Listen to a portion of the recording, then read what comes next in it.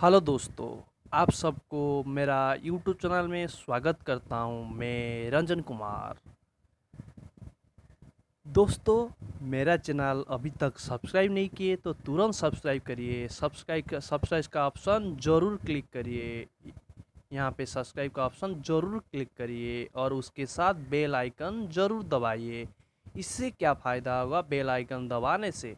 जैसे ही मैं नया वीडियो अपलोड करूँगा, सबसे पहले आपको नोटिफिकेशन द्वारा मिल जाएगा।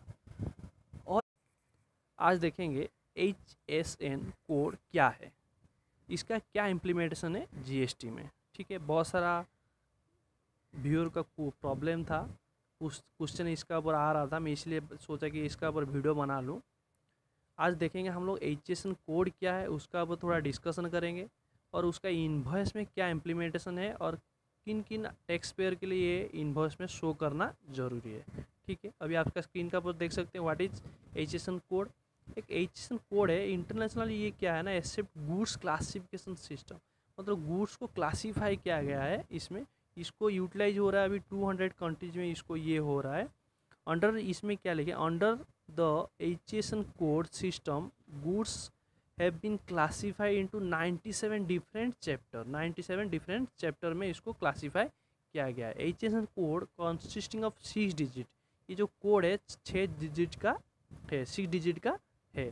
वो सिक्स डिजिट क्या क्या डिफाइन करता है? ठीक है? फास्ट टू डिजिट क्या डिफाइन कर रहा है? ना चैप्टर उसका देखिए the H S code chapter is represent in first two digit of the H S N code H S N code का फास्ट डिजिट क्या रिप्रेजेंट कर रहा है? एच एस एन कोड को रिप्रेजेंट कर रहा है, ठीक है? थर्ड फोर्थ डिजिट क्या कर रहा है? ना heading of the good goods का हेडिंग रिप्रेजेंट कर रहा है। एंड फिफ्थ एंड सिक्स क्या कर रहा है? ना sub heading of the goods goods sub heading represent कर रहा है, ठीक है? अभी समझ में आ गया कोड क्या है एच एस एन कोड क्या है। अभी देखेंगे उसका इन्वर्स में क्या होता है? इन्वर्स में हम हम लोग का जो इन्वर्स फॉर्मेट रहता है जीएसटी का इन्वर्स फॉर्मेट उसमें क्या क्या रहता है जीएसटी में? ठीक है? According to GST rule in regulation all supplier of goods और service are required to issue a tax invoice mandatorily when the value of supply is over rupees two hundred ठीक है? Tax the tax invoice issue under GST is required to contain the following information वो जो tax invoice आप issue करेंगे GST का, ये ये information वो इन्वर्स में रहना ज़रूरी है। क्या है ना नेम रहना चाहिए एड्रेस रहना चाहिए GST I N number of सप नंबर रहना चाहिए सप्लायर का। Invoice number not exceed sixteen character invoice number जो है सिक्सटीन कैरेक्टर से कैरेक्टर से एक्सीड होना नहीं चाहिए, ठीक है? मैक्सिमम सिक्सटीन डिजिट तक रहना चाहिए। Date of tax invoice name address and GST I N of the customer if available ठीक है? उसका अवेलेबल होगा कस्टमर का, उसका नाम जी नंबर देंगे, नहीं होगा तो छोड़ देंगे। मान लीजिए वो कस्टमर आपका ऑन रजिस्टर है तो उसका जी एस टी नंबर नहीं होगा तो आप छोड़ देंगे, ठीक है? H S N code for goods और S A C code for service H S N code मतलब गुड्स के लिए एच एस एन कोड बनाया गया है एस ए सी है सर्विस के लिए, ठीक है? डिस्क्रिप्शन ऑफ़ गुड्स और service quality supply, total value of supply, tax value of supply, rate of rate and amount of GST place of supply ये इन्फॉर्मेशन आपका इन्वर्स में टैक्स इन्वर्स में रहना ज़रूरी है, ठीक है?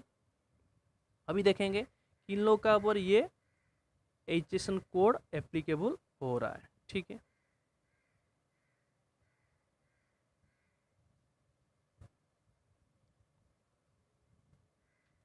एच कोड क्या है ना? Many small business might find the ये जो क्या है ना बहुत सारा स्मॉल का स्मॉल ए के लिए, ये थोड़ा बॉर्डन घटाने के लिए, यहाँ पे लिखा है टू रिड्यूस यहाँ पे देखिए लिखा है to reduce the compliance burden small business small business लोग के, ये बॉर्डन घटाने के लिए ये क्या गया ना नोटिफिकेशन निकाला गया था नोटिफिकेशन नंबर बारह slash two thousand seventeen date of notification क्या था ट्वेंटी एथ जून 2018 में क्या गया था ना। इन लोग के लिए अवेलेबल मतलब H S N code of invoice can be display as follows ये ऐसे आपको फॉलो करना पड़ेगा डिस्प्ले करना पड़ेगा किन लोग के लिए या किन लोग के लिए नहीं है डिस्प्ले करना।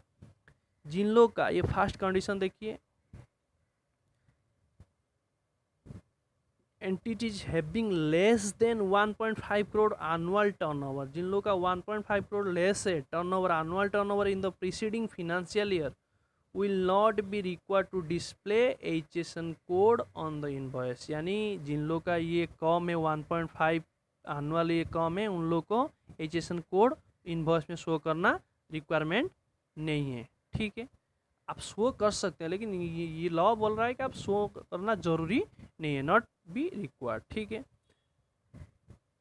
और सेकेंड पॉइंट में क्या है entities having rupees one point five crore to five crore यानी वन पॉइंट फाइव करोड़ से एक्सीड होगा और up to five crore annual turnover in the preceding financial year will be required to display the first two digit first two digit of the HSN code on the invoice first two digit HSN code invoice में show करना ज़रूरी है, ठीक है? Next में देखेंगे। Third point क्या है? ना entities having more than five crore जी वो तो था वन पॉइंट फाइव करोड़ से लेके फाइव करोड़ के बीच में। जिन लोग का more than one point five crore annual turnover in the preceding financial year will be required to display for first two digit chapter and chapter first two digit and chapter heading of the H S N code on the invoice those only entities having more than five crore of annual turn over would be require to display four digit H S N code on the invoice ठीक है? मतलब up to five crore जो जिन लोग का है तो उन लोग का क्या करना पड़ेगा? ना उन लोग को टू डिजिट तक दिखाना पड़ेगा फास्ट टू डिजिट लेकिन जिन लोग का फाइव करोड़ से एक्सीड है, उन लोग को क्या करना पड़ेगा?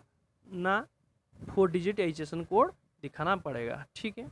इनवर्स में ये कंपलसरी है आपका दिखाना के लिए, दिखाने के लिए ज़रूरी है आपको। ये नोटिफिकेशन आया था बारह नोटिफिकेशन नंबर था बारह slash two thousand seventeen date था twenty June two thousand eighteen ठीक है? सिर्फ़ इसको लिए रिलैक्सेशन है। एंटिटीज़ हैविंग लेस देन 1.5 को लेस देन जो है और जिन और 1.5 से लेके 5 करोड़ तक टू डिजिट दिखाएँगे। 5 करोड़ से एक्सीड होगा तो वो फोर डिजिट दिखाएँगे, ठीक है? अभी मैं दिखाऊँगा इन्वॉइस का फॉर्मेट कैसा है। कैसे दिखाएँगे इन्वॉइस का फॉर्मेट ये आपका स्क्रीन का पर देख सकते हैं। इन्वॉइस का फॉर्मेट ये है, ठीक है? एक इन्वॉइस का फॉर्मेट ये है। यहाँ पे देखिए एचएसएन कोड और एस कोड ये जो है, आपको दिखा गया है, ठीक है? यहाँ पे डेट अमाउंट वगैरह, ये सही रहेगा। आपका जी नंबर ये वगैरह रहेगा।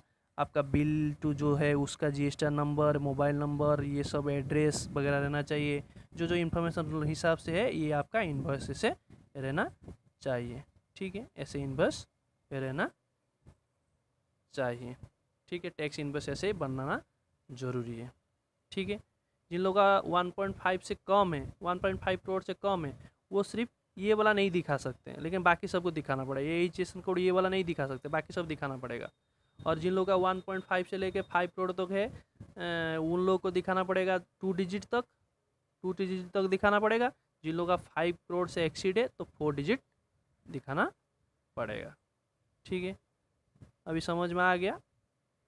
ये जो आपका, जो बहुत सारा प्रॉब्लम क्वेरी आ रहा था, इसलिए मैं ये वीडियो बनाया था। ठीक है? अभी समझ में आ गया होगा, मैं सोच रहा हूँ।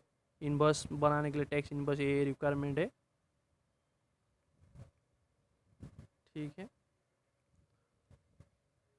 और एक चीज़ दिखाऊँगा आपको, उसका जो ये जो आप जी जो आप बोल रहे हैं जी एस ये तो आपका जीएसटी आपको जैसे ही इशू करेंगे टैक्स इनपर जी में, ये आपको ऐसे ऐसे रिक्वायरमेंट है, ये सब डॉक्यूमेंट रिक्वायरमेंट है आपको। मतलब ये इन्फॉर्मेशन बिल में रहना ज़रूरी है टैक्स इन्वॉइस में, ठीक है। अभी मैं दिखाऊँगा आपको HSN कोड कैसा रहता है? ठीक है, कैसा उसका फॉर्मेट है, आपको दिखाता हूँ। आप आपका आपका स्क्रीन का ऊपर देख सकते हैं एच एस एन कोड है आइटम वाइज ये है। देखिए, आपका सीरियल नंबर है एच एस एन कोड है डिस्क्रिप्शन है। आप देखेंगे इसमें डिस्क्रिप्शन में आपका जो गुड्स या प्रोडक्ट जो सेल कर रहे हैं, जो ये कर रहे हैं, वो आपका कौन सा कैटेगरी में आ रहा है तो उसी का आप एच एस कोड लेंगे। ठीक है, आप स्क्रीन का ऊपर देख सकते हैं।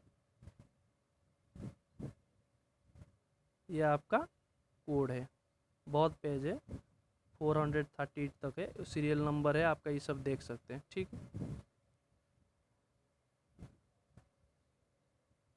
मैं इसको, ये वाला जो पेज है, मैं उसको पीडीएफ को दे दूँगा। इसका लिंक जो है, मेरा इस वीडियो का नीचे दे दूँगा। आप वहाँ से डाउनलोड करके आप ये सब देख सकते हैं। बहुत सारा है, ठीक है?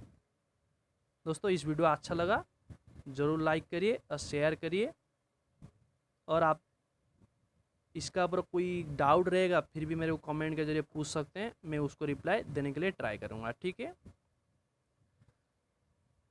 दोस्तों, आज के लिए इतना ही। फिर मिलेंगे एक नया टॉपिक के साथ। तब तक के लिए जय हिंद।